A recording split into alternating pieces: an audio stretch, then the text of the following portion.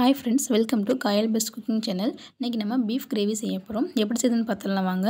வீடியோக்குள்ளே போகிறதுக்கு முன்னாடி நம்ம சேனலில் ஃபஸ்ட் டைம் நீங்கள் பார்க்குறீங்கன்னா சப்ஸ்கிரைப் பண்ணிக்கோங்க பெல் பட்டனை கிளிக் பண்ணிக்கோங்க. அப்போ தான் நான் போடுற ஒவ்வொரு வீடியோஸும் நோட்டிஃபிகேஷனாக வரும். இப்போ எப்படி செய்யுதுன்னு பார்த்துலாம் வாங்க. நான் கால் கிலோ பீஃப் எடுத்து வச்சுருக்கேன். வெங்காயம் தக்காளி மல்லி இலை ரம்ப இலை கருவேப்பிலை வத்தல் தூள் இஞ்சி பூண்டு பேஸ்ட் அரைச்ச தேங்காய் garam masala chicken sixty five masala பட்டைத்தூள் அன்னாசிப்பூத்தூள் ஜாதிபத்திரி தூள் கல்பாசி தூள் மஞ்சள் தூள் உப்பு ஜீரகத்தூள் மிளகுத்தூள் கஸ்தூரி மேத்தி இது காஞ்ச வெந்தயத்தோட கீரை. இப்போ எப்படி சேர்த்துன்னு பார்த்துடலாம் வாங்க. ஒரு குக்கரில் ஒரு மூணு ஸ்பூன் எண்ணெய் ஊற்றிருக்கேன் எண்ணெய் சூடானதும் வெங்காயம் சேர்த்துக்கலாம். வெங்காயத்தை லைட்டாக வதக்கி விட்டுப்போம்.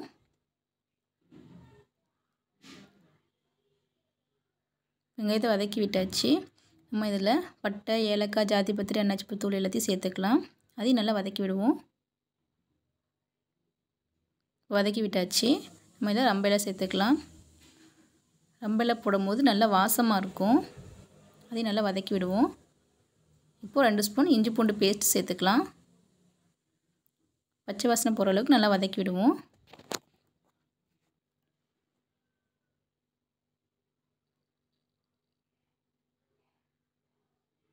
நல்லா வதக்கியாச்சு. வத்தல் தூள் சேர்த்துக்கலாம்.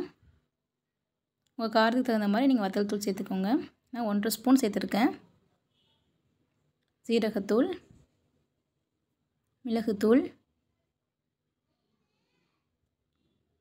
garam masala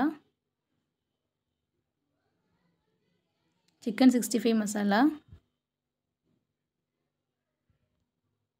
மஞ்சள் தூள் தேவையான அளவுக்கு உப்பு. எல்லாம் சேர்த்து நல்லா கலந்து விடுவோம். மசாலாவோட பச்சை வாசனை போகிற அளவுக்கு கலந்து விட்டுக்கலாம். இப்போ நல்லா கலந்து விட்டாச்சு தக்காளி சேர்த்துக்கலாம். அதையும் நல்லா கிளறி விட்டு வேக விடுவோம். இப்போ தக்காளி நல்லா வெந்துட்டு நம்ம கருவேப்பிலை சேர்த்துக்கலாம். அதையும் கிளறி விட்டுடுவோம். எடுத்து வச்சுருக்க கறி சேர்த்துக்கலாம்.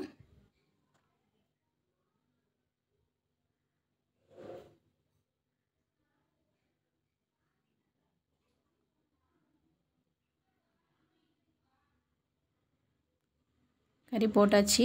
நல்லா கிளறி விட்டுடுவோம். கறி மசாலா எல்லாம் ஒன்றா சேர்ந்து வர அளவுக்கு நல்லா கலந்து விட்டுப்போம்.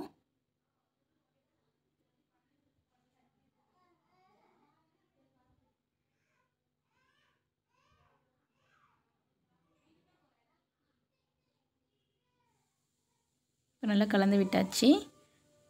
நம்ம அரைச்ச தேங்காய் சேர்த்துக்கலாம். நம்ம கிரேவின்றனால ரெண்டு ஸ்பூன் சேர்த்தா போதும். நிறைய சேர்க்க வேண்டாம். அதையும் நல்லா கலந்து விட்டுப்போம்.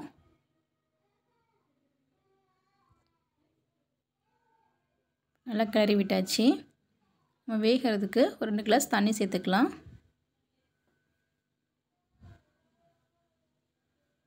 கறி மூலங்களுக்கு சேர்த்தா போதும் ரொம்ப சேர்க்க வேண்டாம். இது நல்லா கிளறி விட்டுப்போம். கறி மசாலா தண்ணி எல்லாம் ஒன்றா சேர்கிற அளவுக்கு நல்லா கலந்து விட்டுட்டு நம்ம மூடிடலாம்.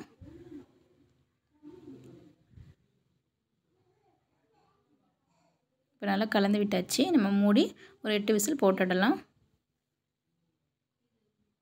வந்ததுக்கப்புறம் பார்ப்போம். இப்போ எட்டு விசில் வந்துருச்சு. திறந்து பார்த்துடலாம்.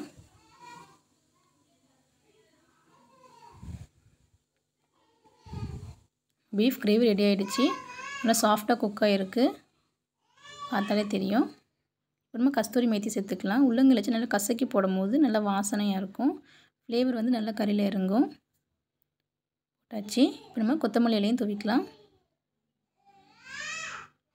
இப்போ ரெடி ஆகிடுச்சு நம்ம எடுத்து வச்சுருவோம். பீஃப் கிரேவி ரெடி ஆகிடுச்சு நீங்களும் வீட்டில் ட்ரை பண்ணி பாருங்கள் இந்த வீடியோ உங்களுக்கு பிடிச்சிருந்துச்சின்னா லைக் பண்ணுங்கள் ஷேர் பண்ணுங்கள் கமெண்ட் பண்ணுங்கள் இதே போல் நிறைய வீடியோஸ் பார்க்கணுன்னா மறக்காமல் நம்ம சேனலுக்கு சப்ஸ்கிரைப் பண்ணிக்கோங்க. அடுத்த வீடியோ நான் சந்திக்கிறேன்.